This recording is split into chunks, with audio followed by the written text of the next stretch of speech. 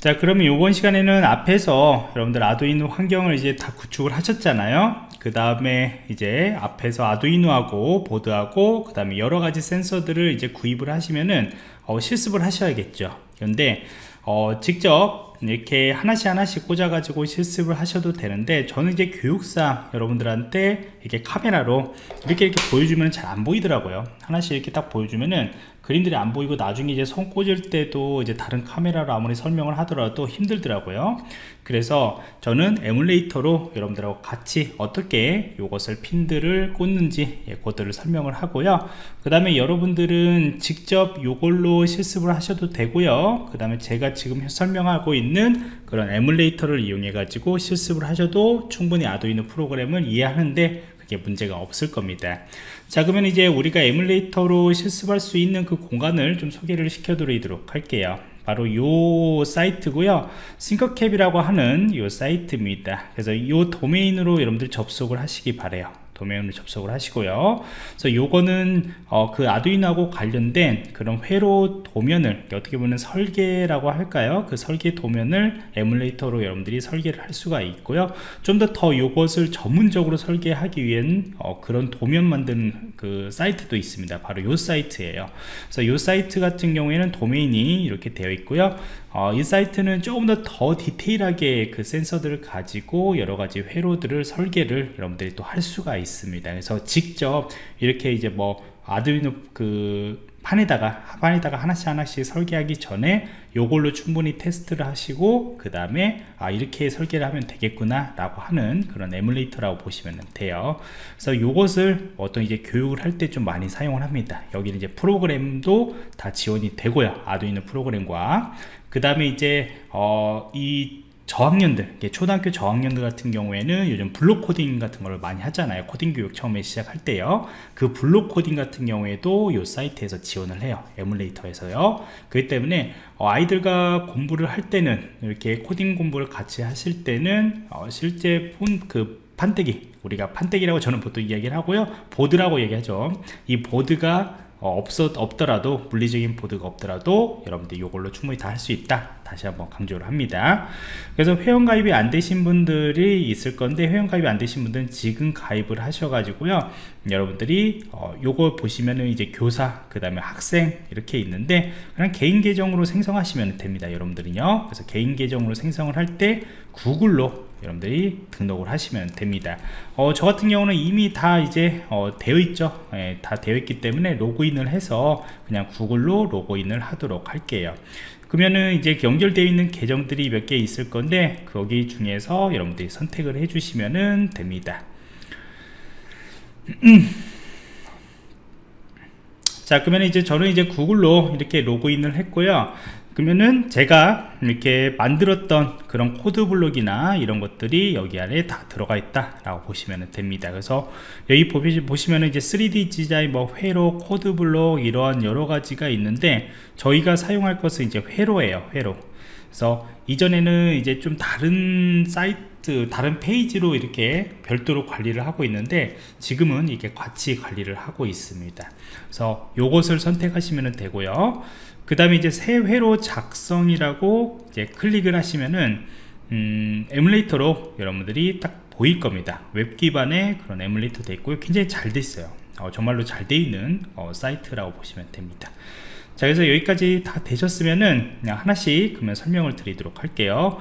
우선 제 강의를 들을 때는 실제 보드에다가도 적용을 해 보시고 그 다음에 에뮬레이터에다가 그대로 적용을 해 보시고 아니면은 에뮬레이터부터 우리가 어, 시뮬레이션이라고 얘기하죠. 그래서 그 어, 요 안에다가 가상에다가 우리가 한번 이렇게 어, 시뮬레이션을 한번 해보고 그 다음에 어, 이것이 잘 동작이 된다 라고 한다면은 실제 이 에디터에다가 똑같이 복사를 하셔가지고 그 다음에 회로를 다 만들어 가지고 이렇게 테스트를 하시라고 저는 이제 추천을 합니다 자 그렇다면은 여기에서 보시면은 아두이노 우노 판이 있습니다. 우노 R3 예, 판이 있고요. 요것을 그대로 이쪽에다가 예, 이렇게 더블 클릭하시면 되는데 조금 느릴 수 있습니다. 지금 현재 보면 저 같은 경우에도 살짝 이게 녹화를 하면서 하니까 어, 좀 느린 감이 좀 있어요. 예, 느린 감이 있고요. 저는 이제 두 개가 생성이 돼서 하나는 어, 이렇게 어, 지웠습니다. 지웠고요 자 그래서 이렇게 여러분들이 바로 이렇게 사용할 수가 있고요.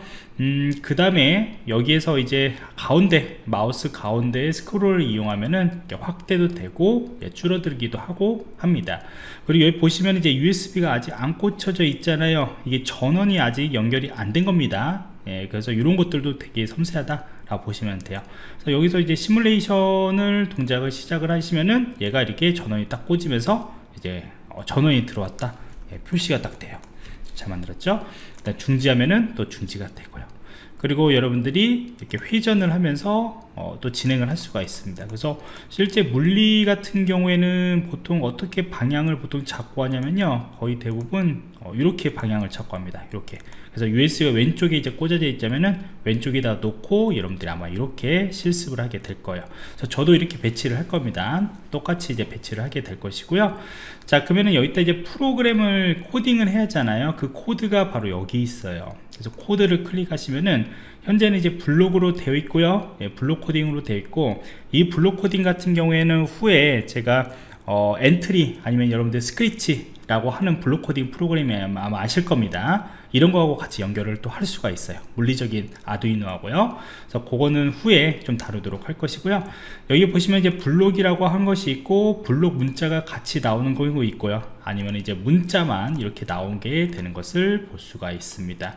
바로 이제 이게 기본적인 코드 프로그램이 안에 이렇게 들어가 있어요.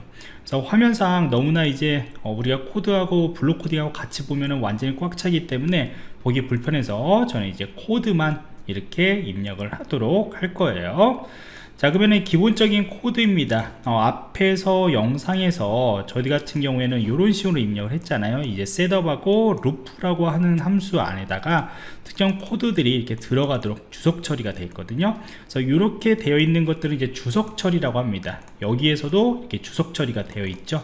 그러면은 여기서 한번 확인을 해 보시면 이 코드를 가지고 한번 설명을 드리도록 할게요. 지금 현재 보시면은 이 핀 모드라고 있습니다. 이 핀 모드의 13이라고 한다면은 여기에서 이제 여러분들 물리적인 보드도 한번 보시면은 이 13이라고 하는 것은 바로 요 13입니다. 그래서 여기에 핀 넘버 값이 넘버 값에다 여기다가 나는 이제 우리가 어, 꽂겠다. 어떤 거를 꽂을 거냐면요. 어, 여기 보시면 13쪽에다가 저희가 high하고 그 다음에 low라고 있습니다. 이 high라고 하는 것들은 뭐냐면은 저희가 어, 실행을 하겠다는 소리예요. on이라고 또 보시면 됩니다. on, off 어, 이렇게 여러분들이 어, 생각하시면 돼요. 이해하시면 됩니다. 그래서 우리가 on 상태로 놓다 그 다음에 off 상태로 놓다 이렇게 보시면 되고요.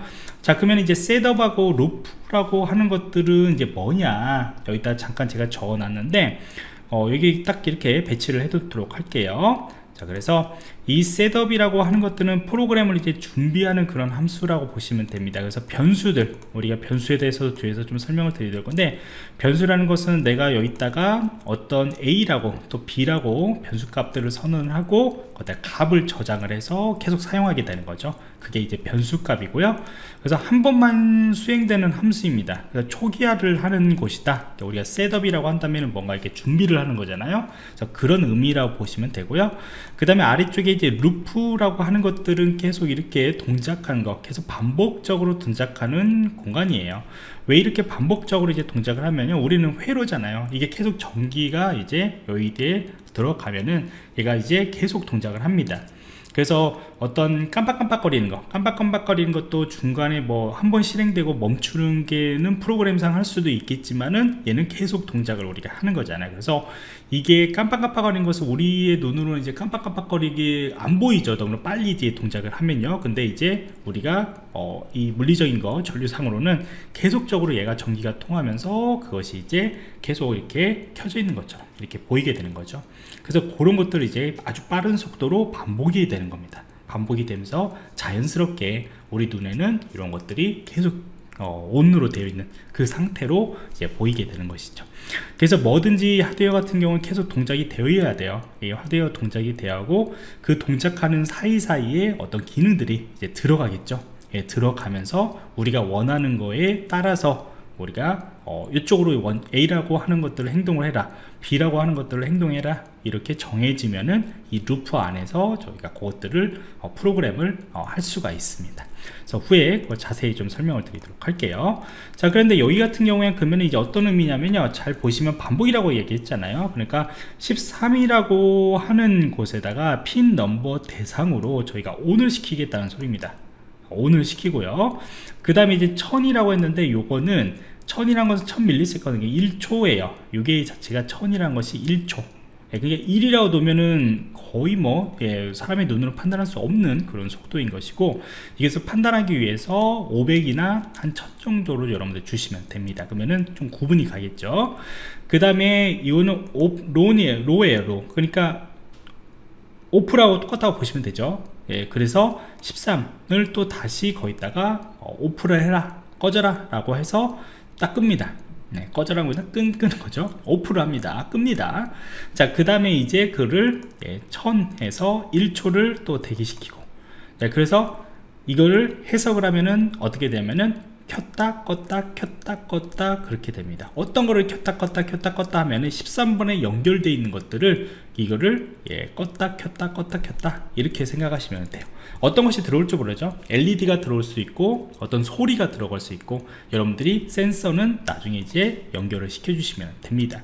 자 그런데 여기에서 그냥 요 상태에서 우리가 시뮬레이터를 시작을 하면은 어떤 현상이 나오는가 좀 보도록 할게요. 자 혹시 어떤, 어떤 것이 반응이 되는지 한번 보이시나요? 반응이 되는 거? 여기 보면 L이라고 써 있는 부분이 있죠? L 지금 여기에 깜빡깜빡거리죠?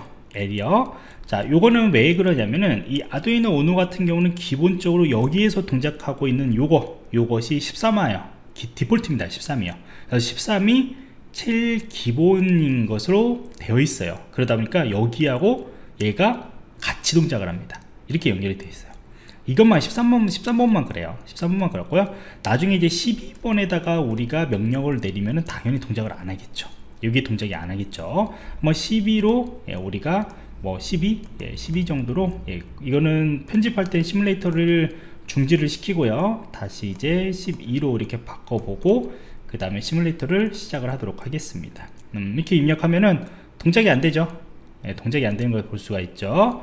자 그래서 요 코드를 요 코드를 이렇게 테스트를 다 하고 난 뒤에 어, 이게 정상적으로 동작이 된다 라고 한다면은 이거를 복사를 하죠. 전체 선택하고 오른쪽 복사를 하고 그 다음에 이걸 전체 선택하고 다 지우고 그 다음에 붙여넣기를 하겠죠. 그래서 컨트롤 V 해가지고 붙여 놓으시면 됩니다. 요거는 이제 13이죠. 네, 13이에요. 자 그래서 여기까지 여러분들이 하고 저장을 합니다. 예, 저장을 하는데 여기는 뭐 별도의 폴더를 우선 만들어 놓으셔도 되고요. 아니면 기본적인 아두이노라고 하는 곳에다가 스타트 뭐 이런 식으로 해서 저장을 해 놓습니다 저장을 하고요. 그 다음에 왼쪽에 보시면 이제 확인이라고 있죠. 이 확인하는 과정은 이 코드들이 잘못되어 있는가 한번 확인을 한다 라고 보시면 되죠. 그래서 컴파일을 합니다. 예, 컴파일을 하고요. 그래서 오류가 발생하지 않으면은 그냥 컴파일이 정상적으로 되고요. 오류가 발생을 하면은 여러분들 컴파일이 오류가 발생을 할 겁니다. 그럼 이제 정상적으로 다 됐어요 자 그 다음에 지금 현재 화면상으로 제가 좀 이렇게 보여드릴 건데 화면상에 보면은 얘가 계속 켜져 있어요. LED가 현재 LED는 안 켜져 있고 아, 켜져 있네요. 기존 것이 아마 설치 그 기존의 소프트웨어 제 설치해 가지고 그런데 LED가 계속 켜져 있는 상태입니다. 그래서 깜빡깜빡거리지가 않죠. 예, 켜져 있는 상태고요. 자 그 다음에 여기에서 업로드를 하시면은 이제 이 코드 했던 것들이 여기에 이제 들어가겠죠. 그래서 업로드를 하시면은 어, 컴파일 했던 것이 이제 들어가면서 따따따딱 뭐 실행이 되고 그 다음에 그 뒤에 어떻게 되냐 여기 보시면 화면상에 보면은 계속 깜빡깜빡 거리는 것을 볼 수가 있습니다 음, 되셨죠? 깜빡깜빡 거리죠? 네, 되셨죠? 그래서 이렇게 물리적으로 아두이노 보드에다가 직접 이렇게 반영을 해 보시는 거예요 그래서 여러분들이 여기에서 여기에서 테스트를 해봐요 나중에는 이제 여기에 이 센서들이 있거든요. LED 센서들 아니면 LED RGB들 그 다음에 다이오드 이런 초음파 거리 센서 이런 것들 하나씩 하나씩 여러분들하고 어, 실습을 하게 될 겁니다. 어, 그렇기 때문에 이렇게 물리적으로 여러분들이 직접 없으면은 어, 기기들이 없으면은 요걸로도 충분히 다 테스트할 수 있다. 이게 보시면 되는데 사실 요것만 보면은 그게 재미는 없어요 네, 직접 한번 해보셔야만이 뭔가 움직이는 것도 보이고 그 다음에 여러분들이 직접 소리를 한번 이렇게 입력을 해보면 거기에 따라서 이제 변하는 것도 보이고 네, 그러겠죠? 같이 한번 해보시기 바랍니다. 그래서 여기까지 우리가 에뮬레이터로 실행할 수 있는 방법들 그 다음에 코드를 직접 어, 입력을 해서 반영하는 방법들 이렇게 한번 어, 진행을 해봤습니다